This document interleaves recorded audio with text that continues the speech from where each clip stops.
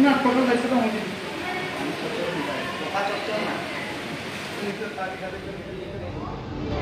শুধু এই এইগুলো নাকি অন্যান্য যেগুলো আহ, যদি স্নেক বাইট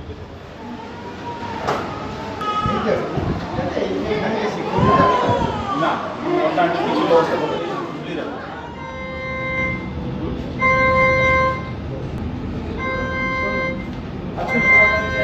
বিভিন্ন জায়গাতে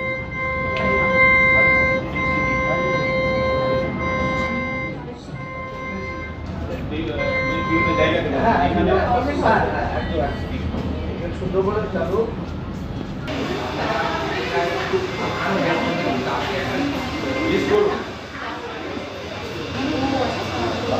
আরও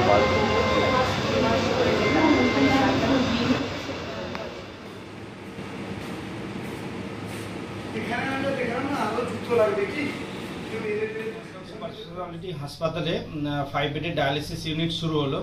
পশ্চিমবঙ্গ সরকার ও বিএমআরসির যৌথ উদ্যোগে পাবলিক প্রাইভেট পার্টনারশিপ এ ফাইভ বেডের ডায়ালিসিস শুরু হলো। এটা দীর্ঘদিনের একটা দাবি ছিল এখানে খুব প্রয়োজনও ছিল।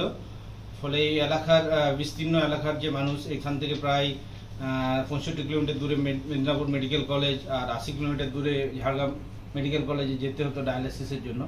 এখন থেকে এই পরিষেবা আমাদের এই নয়াগ্রাম সুপার স্পেশালিটি হাসপাতালেই পাওয়া যাবে।